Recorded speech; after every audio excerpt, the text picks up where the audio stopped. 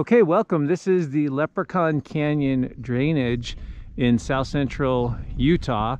Uh, our little crew's heading up to do a slot canyon, so I thought I'd take you with me today so you could see, we'll look a little bit at the geology as well, but to just sort of see how some of these technical slot canyons look uh, from top to bottom. So our first path here, you can see some of our crew heading up now, is uh, going up the sandstone ridge, maybe 400 feet or so, uh, and then we'll get up to a higher elevation where we can drop in. You can see here, this is the part of the exit narrows of Leprechaun Canyon.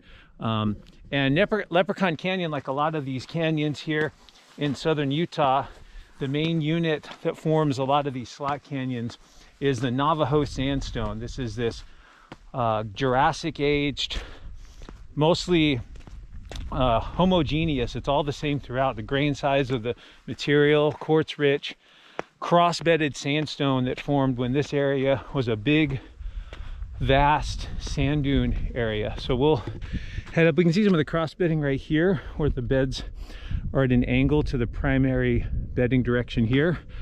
Um, but I'm gonna probably get winded here, so I'll sign off for now and we'll get some more video as we head up and then definitely as we head down the slot canyons. Here's some of the fun, just kind of slick rock walking when you're coming up these sandstone ribs. I mean, you're right on the rock in big rainstorms. This stuff really kind of crazy with all the water running down it. And you can see some of these harder, more resistant sandstones weathering out. They've got more of this iron oxide cement, which makes them a little bit darker. But you just kind of stay on your feet and lean forward a little bit. Just use your toes and friction to work your way up here. Nice view of the crew coming up and the lower part of Leprechaun Canyon so we've hiked all the way up to the top of the left fork of Leprechaun Canyon and this is our our first rappel. As you can see that's a my son over there Cole rappelling down. Um, maybe like a 25 foot rappel that gets us into the drainage uh, and then looks like we'll probably have another rappel just below and then you can see as we get into the more massive sandstone uh, that's when it kind of will start slotting up so we've as you come down these things you run into dry falls and other obstacles you have to work your way through.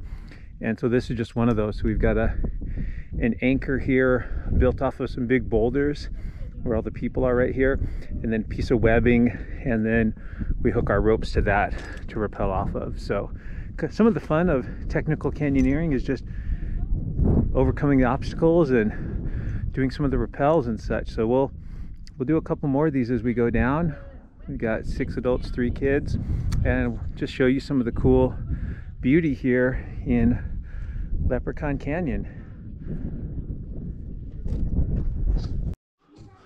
So we just rappelled off this maybe little 20 foot little dry fall here and we're now in kind of the meat I would say of left fork of Leprechaun Canyon so I thought I'd maybe take you a little ways down this section of Slot Canyon. Let's see how technical it gets, but you can see it's one of these little pits in the wall and little gouges and chips where as boulders have come down and scoured out this section of canyon, it's actually uh, impacted the wall a bit, leaving some of these little chips and dings. And then of course you can get places where the water circulates and you get these sort of uh, fluted and sort of pothole shapes along the canyon wall as well. So we'll move down here a little further. Pretty narrow. It's about shoulder width through this section, but it has a nice sandy bottom to it. We're catching up to our group here. Looks like they're all kind of backed up. So we'll put the camera away and then move on ahead. But single file as you go through these. So we're a little further down left fork and you can see just how tight this thing gets. Here's my foot for scale. Like you have to kind of wedge your body through these things. So a couple rocks we had to climb down just back up here. Uh, and in places you're, you're chimneying your body or you're stemming with your feet out to each wall. Um, where I think it gets really tricky is when the floor of the slot canyon literally V's down. Like there's really no sand at the bottom and so your foot kind of gets wedged down along the bottom. This is a nice place to see actively where the slot canyon is deepening as flash floods come through here pick up rocks and sediment those act as the tools the abrasion tools to slice through this sandstone we sometimes use the phrase you know slicing it through like a knife through butter and that's actually a pretty appropriate phrase for uh, how these sandstones are cut by these streams with gradient. We can see a few chockstones down here. Let's see if we can get by. I'll turn it around for a second so you can see how tight this is. Um, some of you might think this looks miserable, but we're actually having a really good time. So let's see here. Let's turn it around. And I need to twist around. It's pretty rough on the gear. You end up sort of dragging your your uh, backpack through.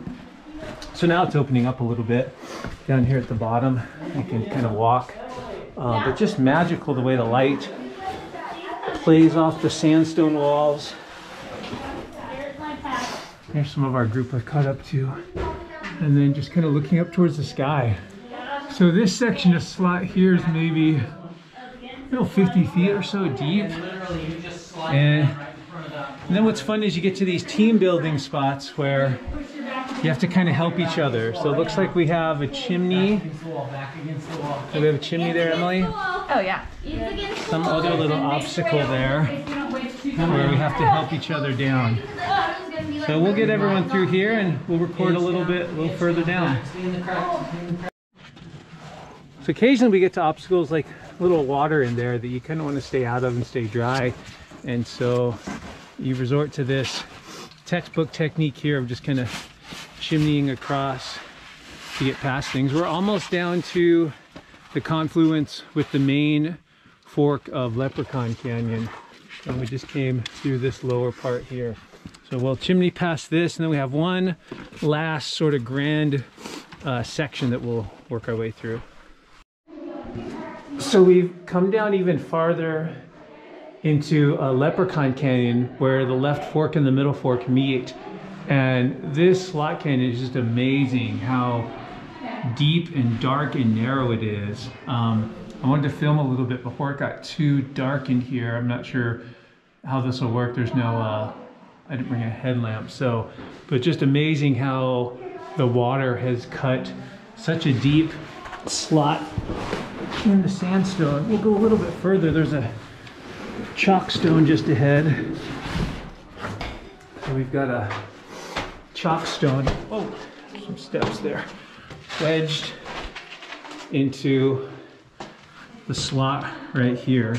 Some folks are going under it. I think I'm gonna go over it uh, and continue on. But this is just one of the best parts of Leprechaun, just incredibly dark. It's maybe two feet wide. So I guess if you're claustrophobic, this would, this might get you. Um, but just spectacular. So I'm gonna scramble through this section and uh, then when we get to the really pretty section that's a little bit wider, we'll wrap up down there.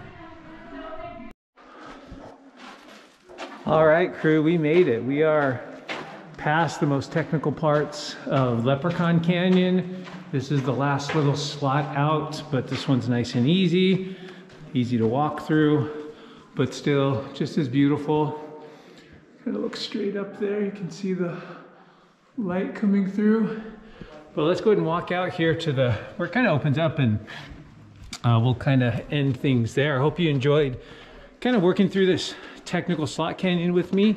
Uh, maybe you're not able to for whatever reason. So I hope this was a, a decent substitute for doing the real thing and giving you a little taste of uh, not just how kind of demanding, but also fun and challenging these slot canyons can be, but also just how beautiful and uh, and magical and spectacular the scenery is when we come through here. That's looking kind of back there at the slot in the Navajo sandstone. And we're on our way out, kind of going through this last section that's sort of like a big cathedral. So hope you'd enjoyed coming with me on this little adventure. Uh, appreciate all the like, shares, and subscribes. Um, and if you can donate, there's a donate button on the banner. There's a thanks button that allows you to donate uh, the bottom right of the screen. And then under the video description, there's also ways, uh, links there as well. So we'll go ahead and sign off. We're heading out, couple, maybe a couple half mile or so from the car. And thanks for joining us here in Leprechaun Canyon in South Central Utah.